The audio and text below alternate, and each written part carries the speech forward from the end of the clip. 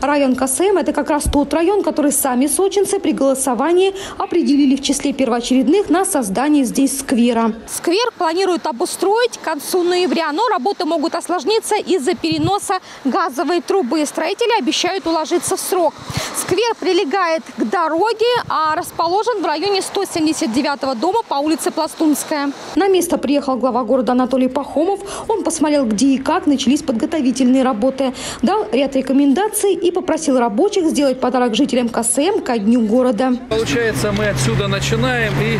И отсюда начинаем и заканчиваем А, дайте я совхоз. посмотрю, Вот да. у нас все есть. Конечно, пока начало стройки, жители не совсем довольны грязно и есть опасения, что здесь будут собираться неблагонадежные компании. Но власти уверяют, будет порядок. И освещение, видеокамеры, безопасность и комфорт. Зона отдыха для самых маленьких. У людей наряду с набережной, которая совсем недавно появилась по реке, э, появится еще и сквер. Мы планируем, что это будет и входная красивая группа в их э, поселок.